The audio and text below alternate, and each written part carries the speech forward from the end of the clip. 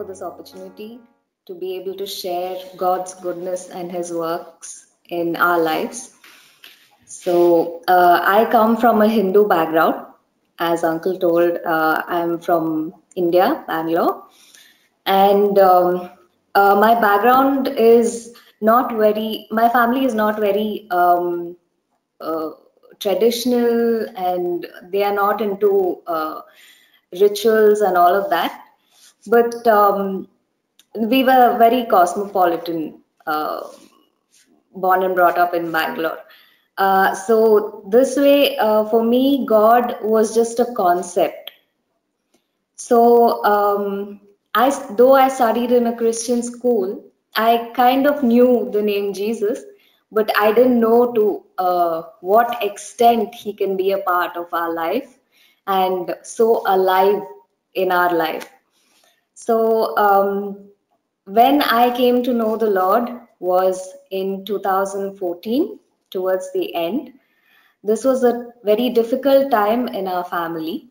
Um, I have a younger brother. He uh, is very street smart and very daring. So he kind of got into his teenage and into bad habits, and he had uh, uh, not very good company. So he kind of went off track, and uh, we were all really distressed in our uh, family. So every weekend was uh, torture for us. We used to dread uh, weekends in our home because um, my dad would um, start scolding him, and there were arguments and all of that. So this was one such um, morning, October 11th, when my father gave an ultimatum to my brother, saying that um, if you have to live in this family, you have to live by what our family um, values are. Otherwise, you are welcome to get out of the house. So my brother said, okay, I will leave. And he started packing his uh, clothes. So this was the time where I hit the rock bottom because it was almost uh, two years or three years since this had been happening. And uh, I tried to do my level best to bring my parents and brother together, but nothing worked. He didn't seem to come out of his addictions and all of that. So this was the rock bottom for me. And at this point, I was sitting on my um, cot in my bedroom and I was just crying. I wasn't looking for help. I didn't know God could help me because He was just a concept for me at that point. And I had no hope in life to even ask for help or even to look to someone for help. At this time, in front of me, I saw a figure who was like two feet tall. And I don't know if my eyes were open or closed, uh, but this figure is the most gentle person that I have ever come across. He was pure and gentle. He just came and touched me like this, and immediately my mind went to my heart. And in place of my heart, I saw God's hands holding a small infant, a baby. And immediately I felt love and peace like not of this world. It was perfect love, 100% love, and 100% peace. If anything, the way I used to describe it uh, in the beginning after this experience was uh, if anything else went into that love, like how sulfuric acid is, even that thing which goes into that love will turn into love. That's how intense it was. And if I had got a little um, a little extra dose of it, I think it could have killed me. So it was powerful. There was power in that love. So, um, and then I felt this love. And when I saw the child in the palm of God's hands, I immediately realized that was me in the sense that that was my soul. And this body, which I have now, is not exactly me. It's just a case to hold my soul. And it felt like God was telling me, I uh, felt peace, love, purity, and innocence when I looked at that child. It felt like God was telling me, This is how I have made you to be pure, innocent, full of love and peace, and that I have you in the palm of my hands. And um, there was another realization, which I know, which is now revelation, um, that God and the child put together is who I was. So after this experience, I started calling, uh, I knew it was Jesus, uh, not that I had any other um, uh, uh thing, but I just knew it was something to do with Jesus. And since then on, I started calling Jesus and God my Father. And every time I say that, I had um, a bubbling joy and satisfaction inside me whenever I said that.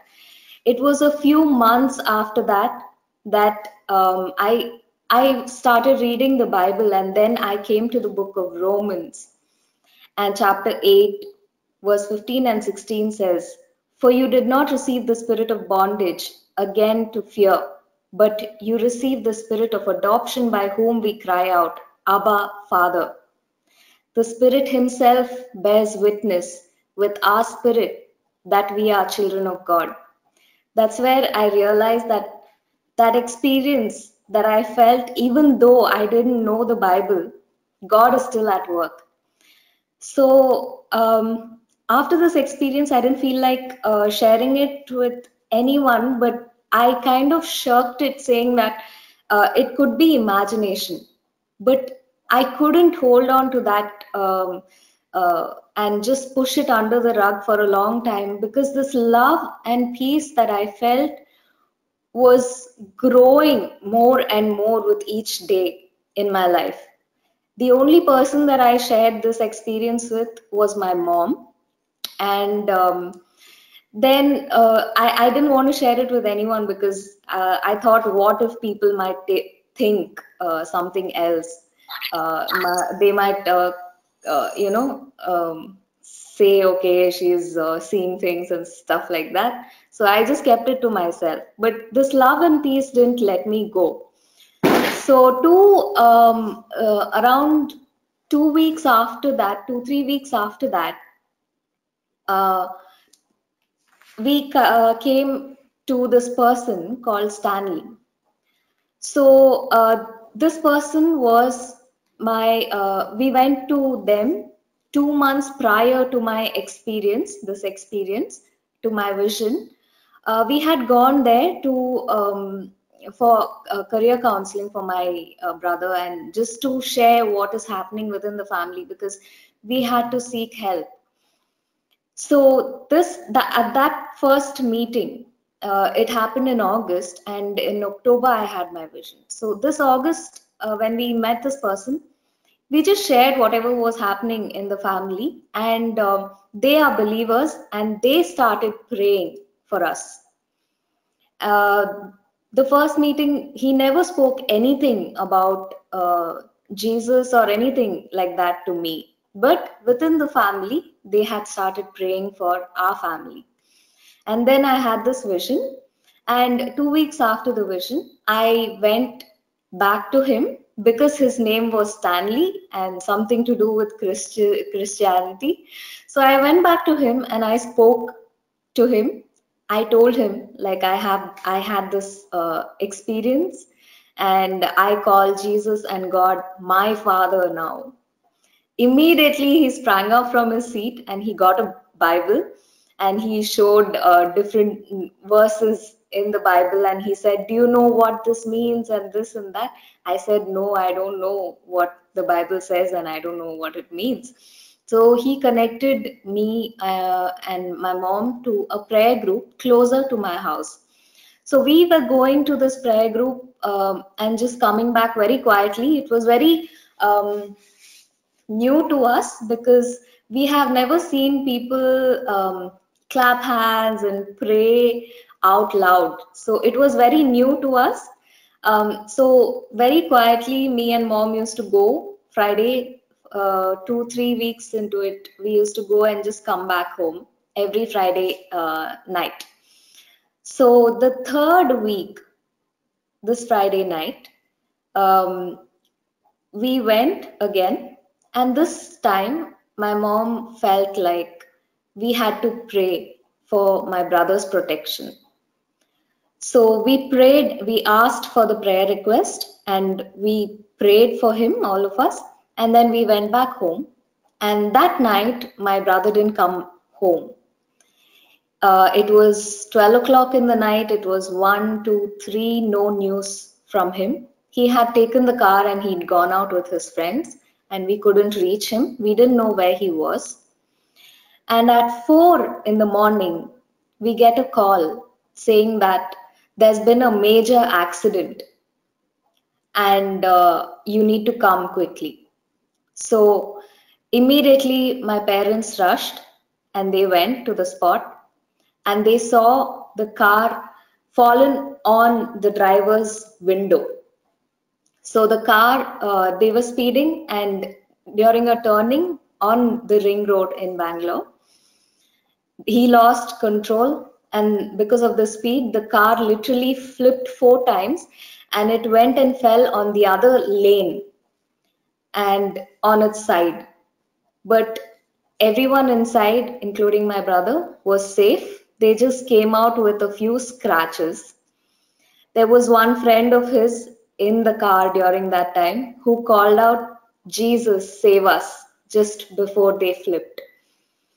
And um, then uh, they, the uh, drivers, uh, some cars were coming behind, and uh, one of the cab drivers uh, stopped, and uh, the people in the cab told, please take them to the hospital, we'll manage. So they were taken to the hospital and um, the surprising part was they were not wearing seat belt. And my uh, whichever hospital they went to, somebody had uh, reported uh, saying that there's been a major accident and spot dead. So the police got uh, really frightened and they started calling all the hospitals that these people uh, that was in the vicinity except the hospital that these people went to if in case the cops had caught them, probably he would have had to uh, go to jail because he wasn't wearing the seatbelt. And he didn't have his license at that point. So, except that hospital, they uh, called all the hospitals, and this was one of the major hospitals there. If they had to call, they would have first called this hospital. But there again, God protected them, He covered them and um, the next the very next day is when we went um, to church and till then we didn't even know uh, where this church was where these group of people belonged to and uh, i didn't know i just knew protestants and catholics like that but i didn't know there, there were believers and how their way of worshiping god is and uh, yeah. Uh, so next day when we went to church, as a family, we didn't have a car because the car was completely smashed and destroyed. So we took a taxi and uh, the four of us, me, mom, dad, and my brother, we went to church. And the first thing that the pastor, when he came up on the pulpit, he said was, This is your second chance. He beat death. And the songs we sang was Death where is your sting?